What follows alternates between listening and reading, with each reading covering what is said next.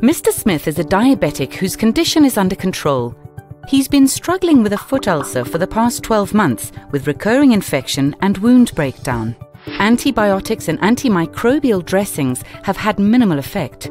If not treated effectively, he faces the risk of losing his limb.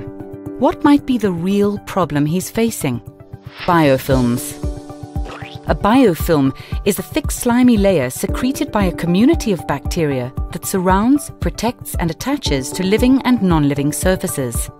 Why are biofilms such a problem? More than 90% of chronic wounds have a biofilm. It's invisible to the naked eye. It induces a chronic inflammatory response that prolongs wound healing. It's impenetrable to antibiotics, antibodies, and antimicrobials.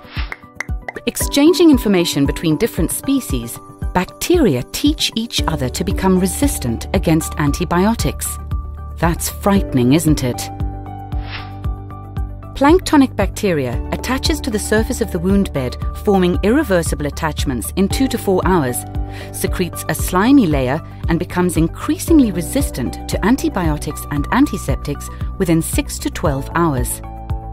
It grows into a mature biofilm in two to three days, then releases bacteria into the environment to settle down somewhere else. If destroyed mechanically or by using antiseptics that can't penetrate and remove a biofilm, a mature biofilm can reform within 24 hours. It will be back in full strength before the next wound dressing change. This is one of the reasons that biofilms cause a delay in wound healing. So what's the solution? Prontosan for wound bed preparation.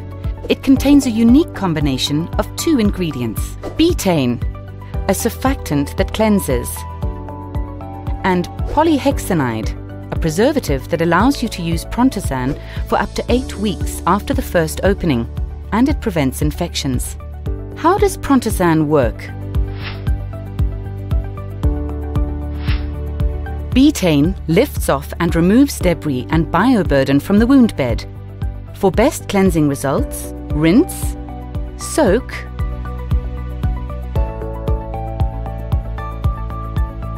and rinse again.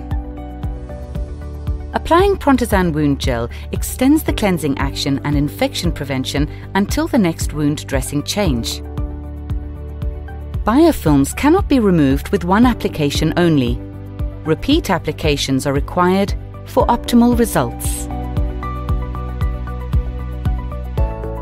In 2005, B. Braun was the first company to provide in vitro evidence demonstrating biofilm removal with Prontosan.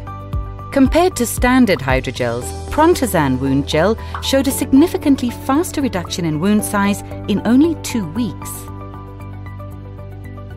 Within six weeks, Mr. Smith's foot ulcer healed using only one bottle of Prontosan solution, 350 millilitres, and one bottle of Prontosan wound gel, 30 millilitres. Prontosan is a cost-effective wound treatment to remove and prevent biofilm formation, prevent complications, and improve the patient's quality of life. Prontosan. Only a clean wound can heal.